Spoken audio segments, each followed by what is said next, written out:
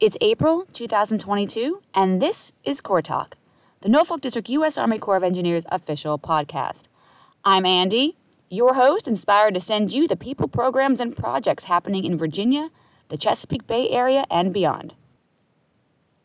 In this month's episode, I am proven so very, very wrong. And you're probably thinking, what? No way. But yes, I am not the oracle for all things Army Corps, which is why, probably why, I host this podcast. Anyway, let me give you all the background. I'm talking about timber harvest and how cutting down trees in the Raystown Lake area of Pennsylvania is critical to the environment. Now, that sounds counterintuitive, right? Yeah, that's what I thought too. So, we're going to listen to Alisha Palmer, the Natural Resources Specialist at Raystown Lake Project, Glenn Warner, the Forester at Raystown Lake Project, and Andrew Wiley, who we actually, it's fun, we call each other the other Andy, uh, who is a forester in the real estate section of the Norfolk District. Let's hear them explain.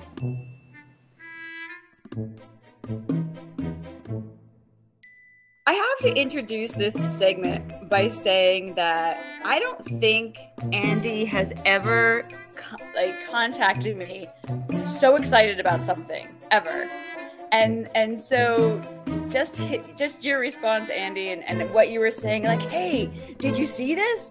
Like you could just you could just feel like this was something big.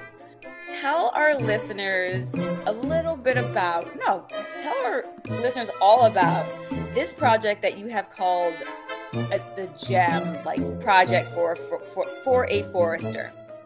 I was thinking about Raystown Lake and just we've done a number of activities up here, primarily timber sales, and often I see the the front end work comes to me. I get to see the timber harvest active. I don't often get to come back and, and see the sale immediately after cut, but do loop back around and, and see post harvest conditions. And it, it really is uh, a, a gem, or from your words, a gem like I've never been to Raystown Lake. Tell me, and Glenn, maybe I, I can post this to to when you guys on the Baltimore side. What is Raystown Lake? Where is it? What is it? Why is it such a big deal? So Raystown Lake is a U.S. Army Corps project. We're a flood risk management project, um, which is the primary purpose. But I would say the other second, probably to that, is recreation. We have a huge recreation program here. Um, we have boat launches, swim beaches, picnic pavilions, camp loops, uh, hiking trails, designated biking trails. Pretty much have everything you'd you'd want a recreation project. Um, and then we also have the environmental stewardship program, um, which is kind of what we're we're hoping to highlight here. So it's it's one core project, um, kind of three elements, covers about 8,000 surface acres of water, and roughly 21,000 acres of land. Um, so a pretty decent sized project. Um, so there's there's definitely a lot to do and see here. It's located in Huntingdon County, Pennsylvania, sort of in the south central part of the state. Um, we're pretty localized to most of the big cities. We're within driving distance of Pittsburgh, Philly, DC, Baltimore. Again, Raystown Lake being the the gem is truly that just they have a forester on staff, which is a huge benefit to implementing such a project. And they have the folks uh, on the biological side doing the front end work alongside with their forester. And it's a great story to tell because I think a, a lot of visitors come here to Raystown for recreation. Um, they see some timber harvest and they see management, land management going on but do they know why or can we can we maybe tell that story to them as to why? So you have this sounds like a pretty freaking awesome uh, area you know beautiful area for recreation for a lot of people. So how does this play into the whole like let's connect this awesome area that falls under the baltimore district and the timber harvest. How how are these two things related? And anybody can answer that question I'll just start out, Andy, is that the the objectives in their master plan identify timber harvest and identify these activities for for land management. And the segue from from Baltimore to Norfolk is it you know timber being considered real property being standing timber uh, becomes a real estate item at that point. And being under real estate that's that's our involvement but i'll flip it over to baltimore. They they can speak a lot more to answer your question. So the obviously the recreation side is is the side everybody sees. That's that's what people come to raystown for. That's what they're going to see. Um, a lot of what we do in the environmental stewardship program is located in remote areas of the project that are not within view of the lake or any large recreation facilities. So a lot of the visiting public may not ever see what we're doing, or if they do, they wouldn't recognize it. Um, we try to, I don't want to say we're trying to hide anything, but we're trying to make sure that what we're doing is aesthetically pleasing to the recreational user. Um, whereas the sale that we're going to, you know, try to highlight here, um, the and grouse timber sale, uh, is sort of an in-your-face type sale. I mean, when you enter Seven Points, which is the heart of Raystown, uh, when you crest the hill to enter, the first thing you're going to see is the timber sale before you get to the entrance station mm-hmm. to check in. So we want people to know what we're doing. We want to tell the story. We want to educate them on why we're doing it and why it's important and that's where like I, I think we are glenn said it we're behind the scenes so often but here we are we're sort of we're sort of out there in the front and it's just a great opportunity to to tell a little bit more out of this small widget as to what we do more or less across the, the landscape so great great bit there. So i have a, I have a couple questions because i'm going to tell you i um i had to go up to northeastern Pennsylvania the other day to visit some family, and I see uh, trees being down, you know, eh, for uh, future construction, and immediately I get like, like I don't know, is something in me, the environmentalist in me is like, that's bad, you know, that's my default, and I think a lot of us kind of like, wait, you're you're chopping down trees dispel that. Make me make me not get angry. Tell me why why this is a good thing. Uh, hi andy it's alisha talking. Um yeah so i mean i was that same kind of person you know um in college and growing up you know you see such a drastic change in the environment um and it's it's definitely alarming but there's so many benefits behind it. And you know over the course of hundreds of millions of years there's always been natural disturbances in the environment whether it be you know hurricanes or wildfires or just in general wind you know big storms. Um, so there's always been natural disturbances. And you know as environmental stewardship managers we're trying to mimic a lot of those natural disturbances because there's so many different species that are of greatest conservation um, in need that rely on those type of young forests. And essentially the drumming grouse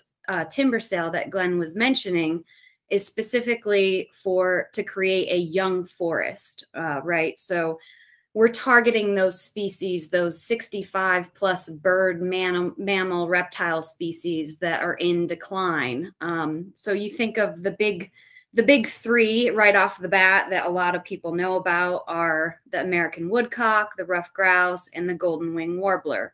There's a lot of uh, big pushes uh, for environmental stewardship land managers to do those types of forest management techniques um, to improve the habitat for those three particular species, but there's so many different other species, uh, indigo buntings, um, you know, so many different types of warbler species. Um, there's different mammals like bobcat and different types of cottontails. Reptiles in particular, um, you know, there's tons of snake species like the black racer, rat snake, timber rattlesnake, and even, believe it or not, the eastern box turtle does very well after a really cut. Um, wow. So yeah, there's there's a lot of different. Um, when you see it, definitely dramatic, but um, after a year of seedling growth, you know, you're you're starting to get more cover for the, these species. Right after the cut you know you're getting a lot of seed dispersal so you're getting a lot of food. A lot of the down limbs and the trees um, you know they start decaying. So you have your arthropods, you have a lot of food and cover immediately after a timber a timber sale such as the drumming grouse. I never thought about that. I've never thought that there would be certain species that would thrive on uh, in that environment where there is new growth and it's you know man the the, the environment's amazing isn't it? Like it's just it, it's like it's resilient and it's yeah. gone through over these changes over you know from glaciation all the way until now. I mean the forest what's nice about it is that forests regenerate and so we are essentially, you know, getting a forest to regenerate and making for better habitat for forests that are just, you know, they're not really common. We have a lot of forests that are, you know, old growth or they're like the middle stage. So, and, to go back, what Alisha said, I really liked. She said mimic. And, and that is exactly where the forester can step in and I'm kind of I'm stealing Glenn's thunder here a little bit. It's the it's the silviculturist in the forester. It's that applied method of how they're going to carry forth with a prescription to treat the land. So the type of harvest that we're going to do that will give us the mimicked condition that we're that we're shooting for, our desired goal. Um, so that's the really cool part. I'll let Glenn speak. I, I don't want to take his thunder it, but... There's so much thunder. There's thunder to go around. Yeah, yeah. All well, right, Glenn.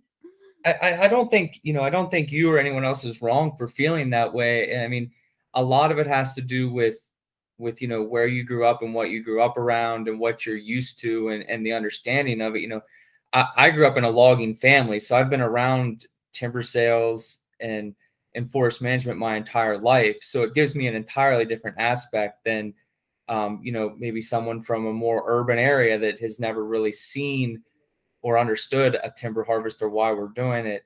Um, you know, but we're not as as USACE foresters, Andy and I, we're not just running out and just chopping down trees willy nilly with no thought or assessment of of what we're doing or the repercussions of it. Um, before before we can even start down that road of doing timber sales, uh, there's a whole stack of paperwork that we have to get through. So um, speaking from a Raystown perspective, you know, we have a cultural resource management plan. We have to consider uh, historic sites and the impact on those, and those have to be protected. We're doing uh, NEPA, um, environmental compliance, seeing if there's any permitting uh, stuff that's needed, uh, erosion and sedimentation control. We're doing uh, plans for those that the contractors have to follow. Um, threatened and endangered species, we have to do PNDI searches um, for those TNE species, um, which Raystown has, um, which led us to formal consultation with Fish and Wildlife. So we have a biological opinion that we have to operate under. We have a forest management environmental assessment that meets our NEPA requirement.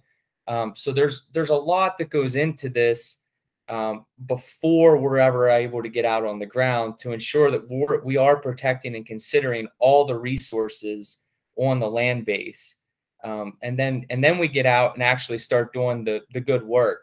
And and i would say that a, a lot of the stuff you may see um, may not be proper forest management or or silviculturally silviculturally sound uh, timber sales uh, because there is still that thought that you know a lot of landowners are just what they term high grading.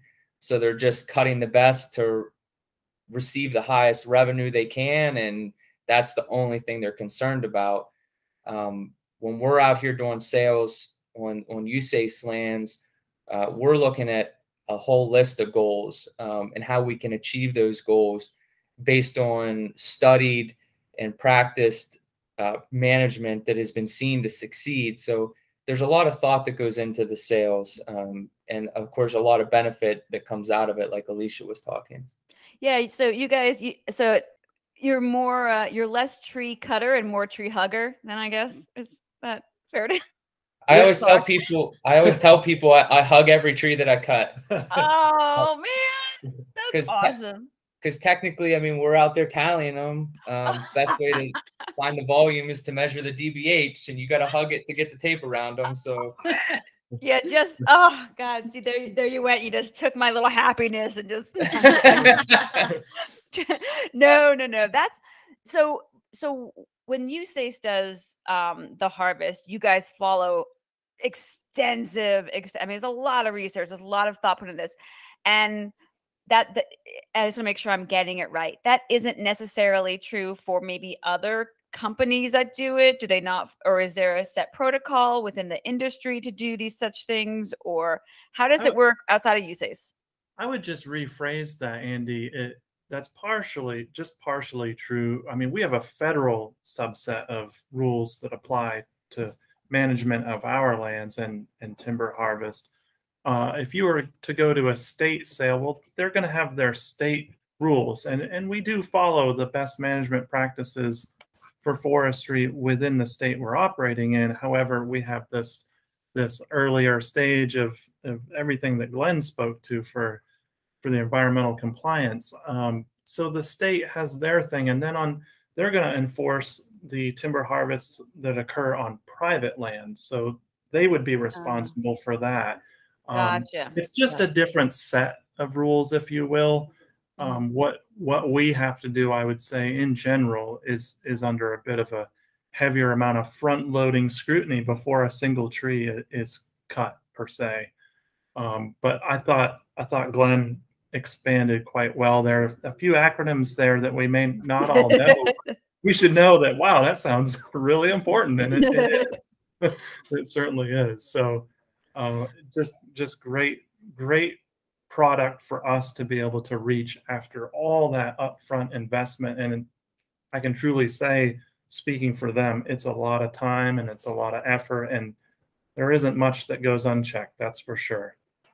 So when you guys after after the logging, after the, the timber harvest, do you do you guys plant or do you kind of like how what's the process after a tree gets cut down, I guess? So uh, it, it's really variable between sites and, and what your goals are for that site. And, you know, maybe you have to consider what factors play into that. Um, you know, is it, is it a site that's likely going to have invasive problems? Is it a site that you're specifically targeting one specific wildlife species that needs a specific plant community or, or habitat type? Um, there's there's a lot that you have to consider um, post harvest, and you know, typically some practices that we typically use at Raystown, um, we're always monitoring invasives. So almost every timber sale we do has at least one or more um, invasive herbicide treatments just to try to not uh, we're not getting rid of the invasives we're just trying to control them the best we mm-hmm. can to let mm-hmm. native species thrive and create quality habitat um, we also do uh, tree plantings um, to assist natural regeneration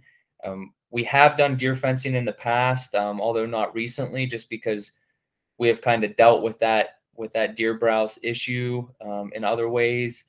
And uh, we we're starting to incorporate a lot of interesting and, and cool, I'll say, uh, wildlife stuff that's mostly thanks to Alisha. So I can I'll let her talk about some of that stuff um, that that she's kind of led me to. yeah. So um, the drumming grouse sale, you know, in particular, was a great educational um, I would say trail initially. So it's it is right next to the old loggers trail. And the whole point of that trail was to, you know, highlight silviculture, you know, prescriptions. And that one in particular was for young forests. So, um, you know, Glenn just recently did that timber sale for drumming grouse. And, you know, there's, there's a lot of cool features about that area in particular. So with a timber sale, you know, a lot of um, you know snags or dead limbs are left, cavity trees are left. Um, they become, you know, purchased for birds of prey or, you know, an opportunity to nest within that cavity. Um, a lot of owls, like screech owls, will nest in cavity trees. Uh, also, an, a cool feature about drumming grouse is there was a actual vernal pond in that area. Um, and given that it was a vernal pond or any type of stream or waterway, there's a buffer um, that's just supposed to be left. And there was a buffer left in that area. Um, what was the question? We're actually, well, you know, to, to, touch more on vernals, yeah. Um, that's something that we're actually incorporating oh, into yeah. our timber sale program. So post harvest, oh yeah, yeah, we're actually considering going out and creating these vernal pools in our timber sales because we have seen how beneficial they are to a lot of reptiles and amphibians. And the other thing we're doing is um, creating these turtle mounds. So we're providing nesting habitat for for turtles. And coming from a forestry logging background, the vernal pool and the turtle mound ideas is something completely foreign to me. Um, but I've seen how beneficial it is and the success that we've had with them. Um, you know, it's important that we as land managers consider all species out there um, on the land base. Yeah. So what's a what's a vernal pool? So a vernal pool is a um, it's like a ephemeral uh, water um, pothole that generally is mm-hmm. in you know dense forests or at the edge of woodlands and it's ephemeral in that it is generally just full of water in the spring and sometimes in the fall. So in the summer months, it's completely dry and it's a breeding ground for a lot of your, um, you know, salamanders um, and frogs. Oh. So very, this, very stagnant yeah. water. Mm-hmm. That, yeah. And why it's important for um, salamanders as frogs is uh, there's no fish in there, right? So the fish generally eat a lot of eggs um, for food. So these little vernal pools throughout the forest landscape are very important for you know those breeding grounds for all these special uh, species. And the one in particular at Drumming Grouse has uh, Jefferson salamanders that are breeding in there, which is pretty uh, spectacular. So another thing that we do, um, we put up nest boxes occasionally as well uh, throughout, you know, after a timber sale. So we'll put up, you know, a barred owl box or a screech owl box. Um, you know, northern flicker boxes are something that we're experimenting with as well. So the turtle mounds are, are definitely something that's kind of new in the wildlife field. You know, there's the turtle species in general are facing threats due to a lot of road mortality and pet trade. So if we can create these, you know, mounds where turtles can lay their eggs and then in return um, protect them with cages, it just um, creates like a better environment for them to reproduce. It's it's awesome to hear someone talk so lovingly about turtles and salamanders and screeching owls or like I appreciate that. That's awesome. it's just not a yeah. conversation you get to have uh, have a lot, you know, in my line of business. So we have we we've seen now we're talking about the environmental benefit so what's the um with the sale part of it? I know that falls under a, a, real estate. Andy, like, can you explain to me where does if someone would ask, where does this tim where's this timber going? Where are these where's this wood going? That's a good question. We we have these sales and we attract um, local area buyers. So they're they're generally um, either a, a logging company themselves or they're a mill owner who processes the wood and they make you know different different products from that wood. But in this area it could it could go off to be furniture or who knows um, a myriad of different products. But today we even glenn and i were out on the sale and there was a product stacked up right at the log landing. That's where the log trucks would come in and load and we said you know what are you doing with this? And then is kind of leading the question to them is this going as firewood so part of that wood was being processed and sold as as firewood. So uh, the the real estate aspect of this is we're trying to attract a buyer for the timber sale. They're gonna they're gonna pay the government for this for this wood, and we're to facilitate that harvest action. We're to administer it and be sure that they follow our contract, be sure that they follow all the provisions like the, the state best management practices for forestry. And the, the crazy thing is, is um, we go out there on the ground and we're, we're looking at this. And I mean, ideas are just flowing even during harvest. We're already, our minds are already seeing things towards the end product. Um, I know today Glenn was looking at these younger yellow poplar left behind, and it was like, hey, these these will be great. They're going to really respond to the more open conditions here post harvest. There's going to be a lot more sunlight. They're going to grow like like crazy, and they're going to provide good shade and good food for the wildlife out there. We just see we we see the whole thing holistically, and I think if if you could have been walking with us or standing over our shoulder, you would have just immersed yourself. this is a lot of data and this is really cool stuff. But it's kind of like what we do at this point. We're just so comfortable with going out there and seeing the harvest um, that that we're we're just taking it all in and commenting as professionals. So you're helping the economy, you're helping the environment, like I think you've you three have successfully turned me from a hater into a much more we ed- hope so. We hope so. it's like we also all work for USACE so you know there's that um but we should have the same goal but no that was that makes total sense now and i uh i think now it's the the job of the communicators like myself to make sure that message gets out to people because that, that's that's right. Yeah, when when people see uh, an active logging site, or if they see a truck going down the road with with this raw wood product on it, just I, guess take a step back and think about um, not only what is the end goal there, what is that making? Is that heating someone's home? Is that providing furniture or building material for a home? Um, obviously those those come to the forefront when you see that but what benefits does it give to the land and to the public and i think you know talking right here today with alisha and glenn and just exposing some of that is is huge. And that's exactly what what we intend to do. That's exactly what needs to happen. Um, I, i'm a member of the society of american foresters and it seems like all the time we're we're trying to get the word out there about the good things that that this does for not only our profession but for people. We're we're doing this for the public uh, especially on public land so and i think people are starting to understand forest management a little more now because we you know we wanted to do something to notify, you know, the visitors at Raystown. We get 1.6 million visitors a year. So we put out a Facebook post a couple of weeks ago just to kind of highlight, you know, the basics of what's happening as you're driving into Seven Points. And believe it or not, we had a lot of positive responses from the post. The only few calls that we got and received were, Are you putting in a development?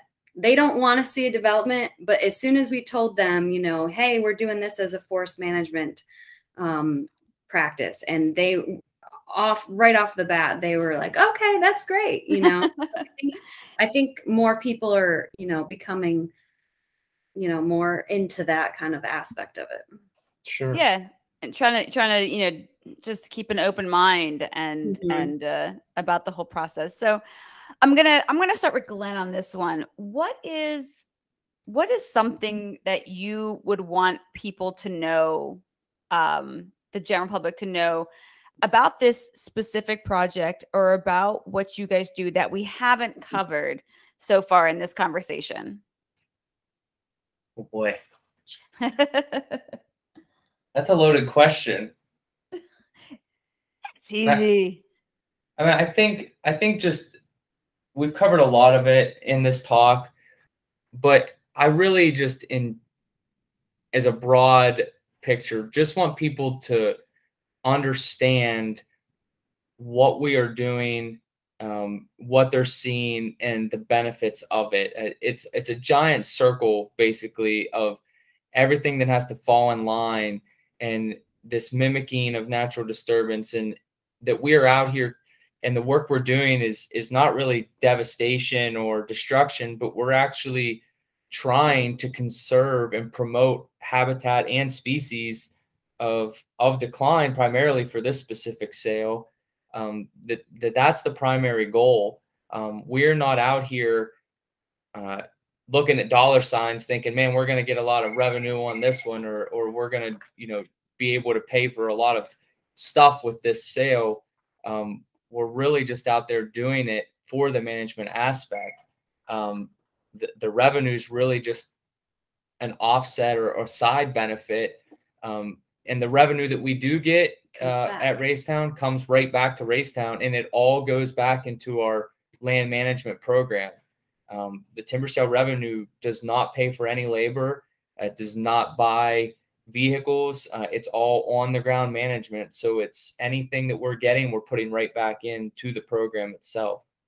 And Glenn and I are going to do a great uh, wetland wildlife complex um, project here in the future. So, you know, we're going to use some of those timber sale funds to, you know, enhance some of the diminishing wetlands that we're seeing across the board. So it's re really cool to see. Yeah, it all it all partners together. And When I when I was listening to Glenn just moments ago, I was this really is ecosystem level management that we're talking about. So, you know, it's pretty broad scale, like he said. And I guess, um, you know, I, I guess if we had some futuristic way to sever a tree and not pull it across the ground and have it, you know, reappear at the mill for processing, that might be an, an option. But uh, current currently, there is a process to do that, and I'm not going to sugarcoat it. it. It can be a little bit dirty. It, you have dirt. That that's what we're skidding our wood across is dirt, mm-hmm. and that's that's going to be part of the process. But I will say, however, it's when I go out and see a job I know kind of what's unacceptable. I know uh, a threshold and I know what looks pretty good. And often, like today, sitting here in this chair, we've looked at two different sales. We looked at drum and grouse, which is essentially um, entirely cut out. We're just gonna, the contract's still open. We're gonna close out a few remaining items with that. And then we were at uh, the spooked fawn sale which is a, at the south end of the lake out of the Saxton community. And we're there and they're they're plugging along. We figure kind of like 40% cut out. And you know, we're we're just looking at the site conditions and we just wrap it all in full scope. I mean, maybe not entirely the entire ecosystem, but we're taking a snapshot of today and trying to apply it to this longer term, broader scope and you know just again a, a feel great moment for for what we do and our careers but um, i'll let you expand off that andy. Well now i'm kind of like um so i'm gonna i'm gonna ask alisha this the same question that i asked glenn though. Is there anything that i didn't ask you that you want that you want people to know or do you feel like we covered it? Um yeah i mean i guess you know, now that I've been working with Glenn for the last three or four years, you know, he's really broadened my, you know, mindset of, you know, what forest management is. And, you know, there's there's so many different silvicultural practices that forest uh you know forest managers can do but i'll never forget the one timber sale that glenn took me to last fall and I mean, I'm I'm such a nature lover and especially a monarch butterfly lover. And with some of these, you know, timber cuts that Glenn is doing, there was like this amazing herbaceous, you know, vegetation epiphany where all these uh, snake root uh, herbaceous plants just bloomed and there's this beautiful white flower and it was full of monarch butterflies throughout the forest so you were just standing there at the log landing and you were just looking up at the forest and below there's these beautiful white flowers and just monarchs all over the place so mm-hmm. you know i think you know it, it's it's really awesome to think of you know we're managing for biodiversity right? We're managing for all species even you know the the fungus and the bacteria the animals all the plants. So collectively um you know we're taking some of these areas and we're trying to you know make them the best that they can be for wildlife so. Oh your mother earth I yeah. I, I think it's also cool because in this recent timber sale, you know, they found an American chestnut tree, which was pretty cool. So part of what Glenn and I are going to do is we're going to plant some additional chestnuts in that same area. Um, so it'll be kind of cool to see what happens afterwards. Oh, wow.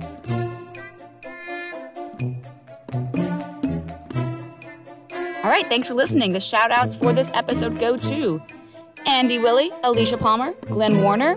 And since April is the month of the military child, I want to give a shout out to my little ones, Ava and Temple, uh, whose strength and patience with me never ceases to be amazing. So until next time, this is Corps Talk.